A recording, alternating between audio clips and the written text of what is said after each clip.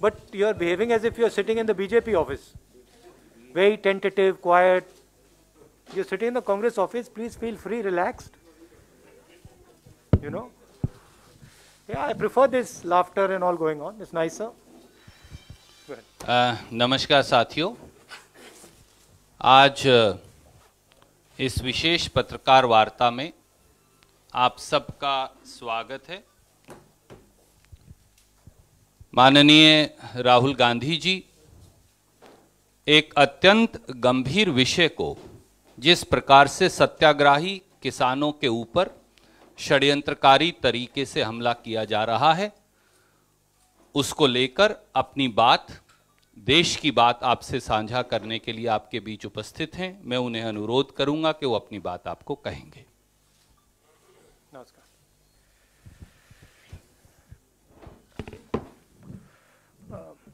Namaskar. Good afternoon. Um, all of us are aware of what is going on with regards to the farmers' protest. And I just want to make a couple of things clear to the younger people, men and women of this country. It's important that you understand what these three laws are so I'm going to repeat it. The first law destroys the mandi system, destroys the ag- agricultural markets of this country. The second law allows unlimited storage of grain and other materials and will make it practically impossible for our farmers to negotiate their prices.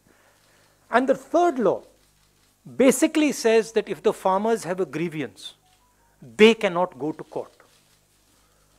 Now, it is very obvious why the farmers are agitated. Because the government is destroying the livelihoods of India's farmers.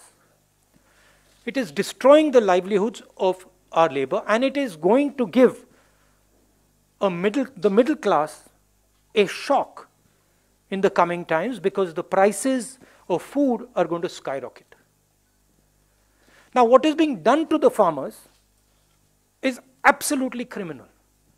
You're beating them, you're threatening them, you're bullying them, you're trying to discredit them. The government needs to talk to the farmers, it needs to give a solution to the farmers. And the only solution, as I have said again and again and again, is repealing these laws and putting the laws into the waste paper basket. The government must not think that the farmers are going to go home. They are not going to go home. And my concern is that this situation is going to spread.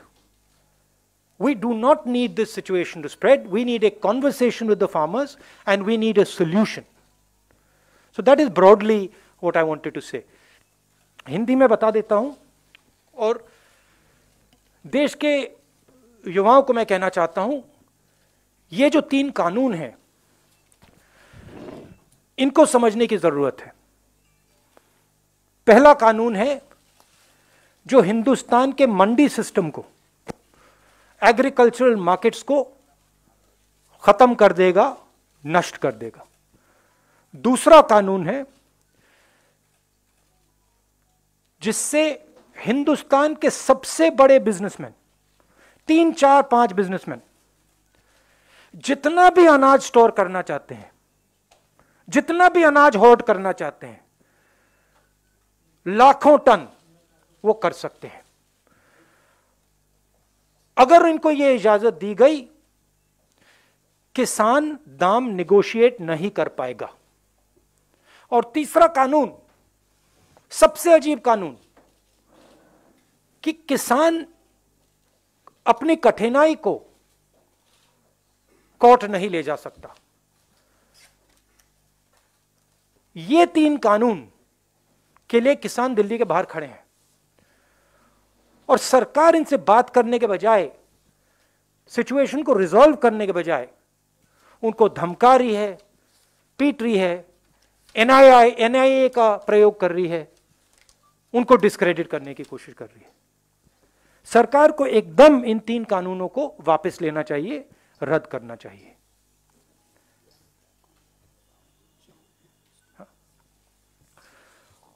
और आज जो हो रहा है, Shambhu border पे जो सरकार इन पे आक्रमण कर रही है, को मार रही है, ये बिल्कुल गलत है। अब आपके आपके सवाल? Thank you sir will now will start yes sir Siddharth will begin with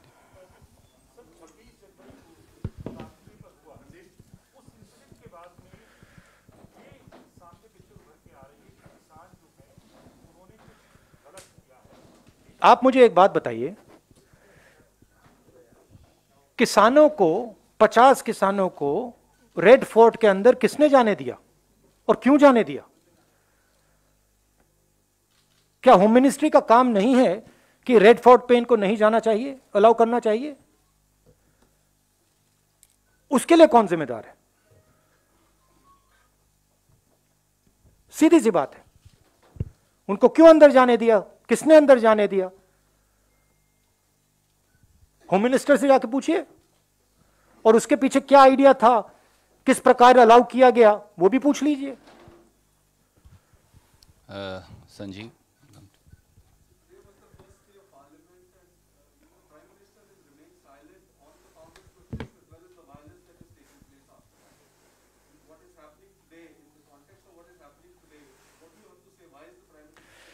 See, the Prime Minister, as I said in a speech in, Tamil, uh, in, in Kerala, this is the biggest transfer of wealth. The biggest transfer of wealth from the largest number of people to the smallest number of people.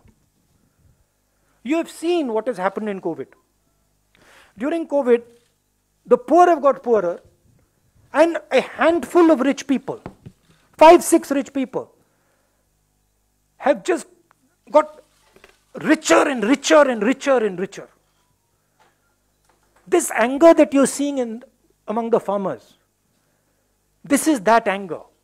That five people, seven people have everything, we have nothing.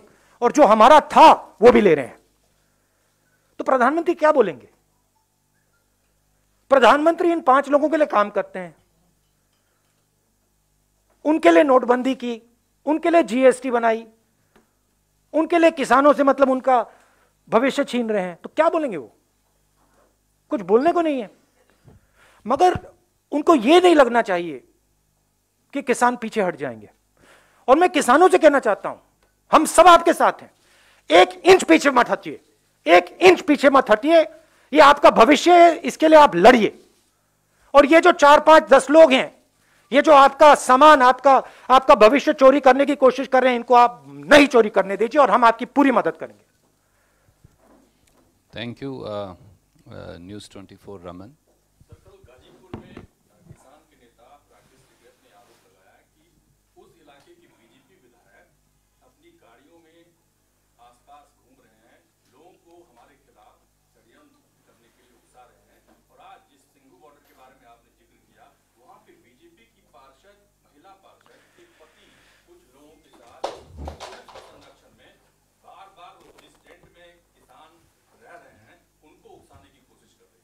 देखिए, ये गलत फहमी है BJP को।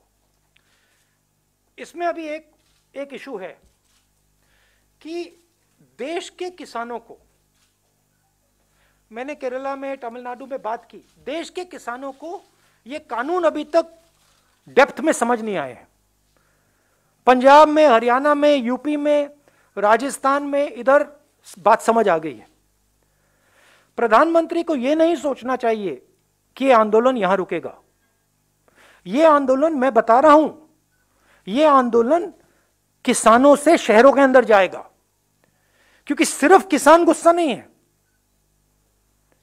हिंदुस्तान में अब लाखों युवा हैं, जिनसे इन्हीं पाँच दस लोगों ने, प्रधानमंत्री ने रोज़गार छीना है। उनको भविष्य नहीं दिख रहा है।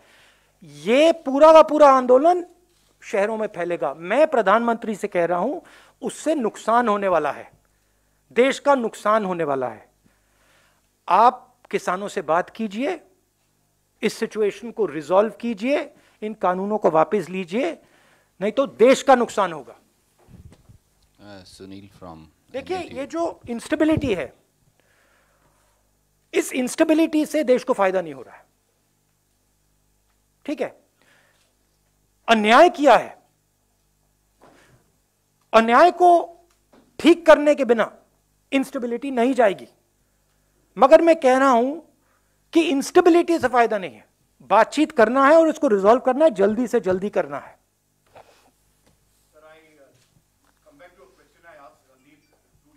Uh, uh, which is basically a. Did he not did he not answer it He answered it, but I want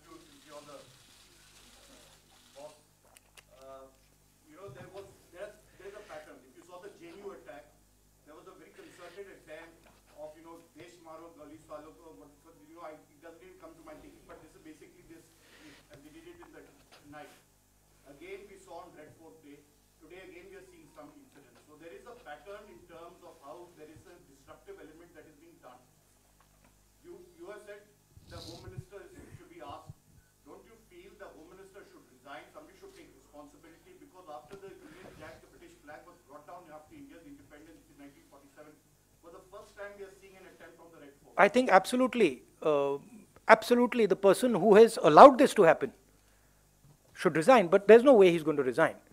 I mean, the the BJP doesn't uh, take responsibility for its actions, so I don't I don't expect him to resign. Uh, but the whole idea is to discredit the farmers. Look, this is a genuine voice.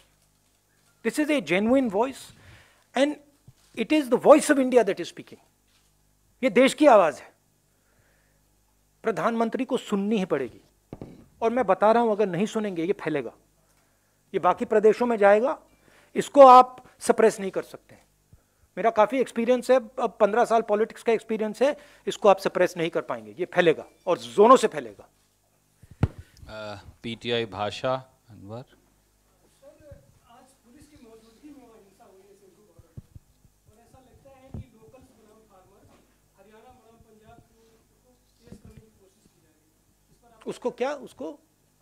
Local बनाम farmers बताया जा रहा है कि स्थानीय लोग विरोध कर रहे हैं। हाँ हाँ। और कहीं कहीं है कि पंजाब बनाम हरियाणा भी हो रहा है। हाँ। एक बात बताइए एक बात बताइए। ये कितने सत्तर दिन हो गए अप्रोक्सीमेटली ये महीनों से यहाँ खड़े हैं। दस पंद्रह लोग तो नहीं है ना? लाखों लोग हैं। तो कुछ ना कुछ तो होगा। कुछ ना कुछ तो इनको, इनकी फीलिंग होगी, इनका दर्द होगा। ये सबके सब मतलब लाखों लोग, बस ऐसे ही खड़े हुए हैं क्या? बिना कोई कारण। कोई ना कोई कारण तो है सिंपल कारण है। आप इनका भविष्य इनसे छीन रहे हो। आप हिंदुस्तान के एग्रीकल्चरल सिस्टम को तोड़ रहे हो। आप अपने दो तीन मित्रों को पूरा हिंदुस्तान का एग्रीकल्चर सिस्टम पकड़ा रहे हो। और आपको लगता है कि कुछ नहीं करेंगे?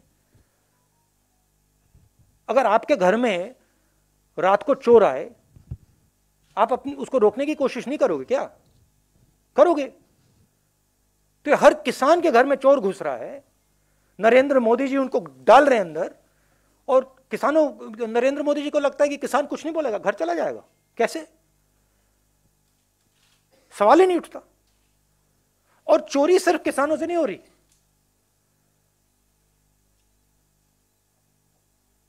चोरी शहरों में वर्कर से हो रही है।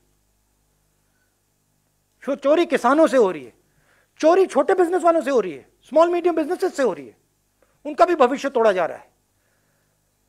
तो अगर ये सोचें कि भाई ये सिर्फ़ किसान की बात है गलत है, ये किसानों से मजदूरों तक जाएगा, शहरों में जाएगा स्लम्स में जाएगा, फैलेगा ये। Thank you Saeed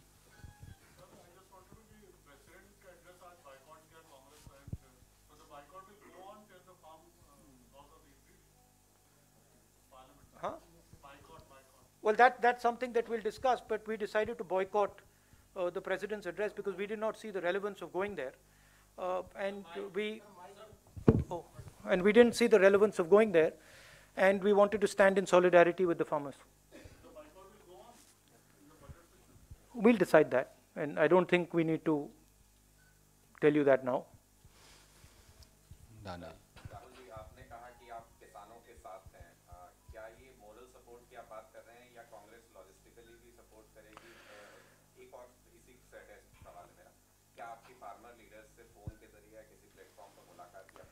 देखिए हमारा गोल है कि ये ये जो चोरी हो रही है, इसको मैं चोरी कहता हूँ और कुछ नहीं है। ये चोरी रोके जाए, रोकी जाए। ये हिंदुस्तान के 60 परसेंट पॉपुलेशन के साथ चोरी की जा रही है। उसको हम रोकना चाह रहे हैं। जिस प्रकार से हम किसानों की मदद कर सकते हैं। जो भी उन्होंने हमसे मांगा, हम करेंगे। हम उनके साथ खड़े हैं। चोरी रोकने।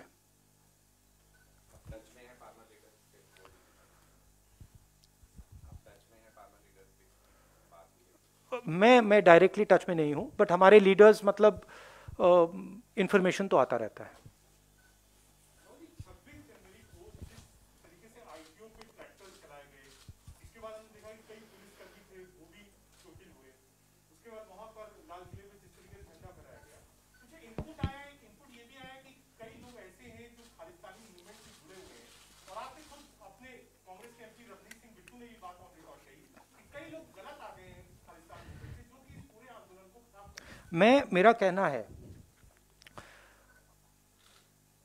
आपने एक स्पेस खोली हुई है। आप किसानों से डिस्कस नहीं कर रहे हो। आपने मतलब एक यहाँ पे आंदोलन खड़ा है। पॉलिटिकल स्पेस है। आपको जल्दी से जल्दी उस स्पेस को बंद करना चाहिए। आप सरकार है। क्योंकि इससे देश का फ़ायदा नहीं हो रहा है। तो हमारा कहना है इसको आप जल्दी रिजॉल्व कीजिए। आप टाइम जाया मत कीजिए। इसमें जो हमारे किसान हैं, उनसे आप जल्दी से जल्दी बात कीजिए और इसको रिजॉल्व कीजिए और सिचुएशन को ठंडा कीजिए। यह हमारा कहना है। उसमें दो तीन गलत प्रकार के लोग हों वो ठीक है। उन पर आप एक्शन लीजिए मगर जो लाखों लोग खड़े हैं वो जेन्युन लोग हैं।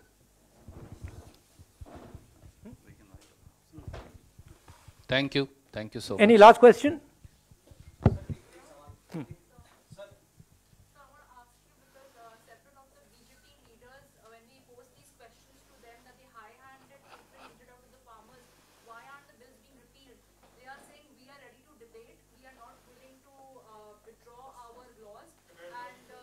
But tell me one thing, simple thing. BJP said we will resolve, we will withdraw these laws for three years, right? Two years. If you're ready to withdraw them for two years, why can't you withdraw them? What is the problem? Then after two, three years, you bring them back, try again. Try it again. What is the problem? If you are ready to say, I'm ready to withdraw them in two years, why can't you withdraw them right now and say, तीन साल बाद बात करेंगे फिर से try करते हैं आप करो मगर जब आप करोगे, बातचीत करके करो, किसानों से पूछ के करो we will help you we also agree that the agricultural system needs reform. Right? But why are you being so stubborn? गलती एक्सेप्ट कर लो कि आपने फोर्सिबली डाल दिया, आपने गलती कर दी एक्सेप्ट कर लो, कोई प्रॉब्लम नहीं है आप दो साल आप कह रहे हो कि दो साल के लिए हम विद्रॉ कर देंगे, आप परमानेंटली विद्रॉ करो, तीन साल बाद आ जाओ, कहो, भैया, फिर से ट्राई करते हैं। हम आपकी मदद करेंगे। हमें रेजोल्यूशन चाहिए। Thank you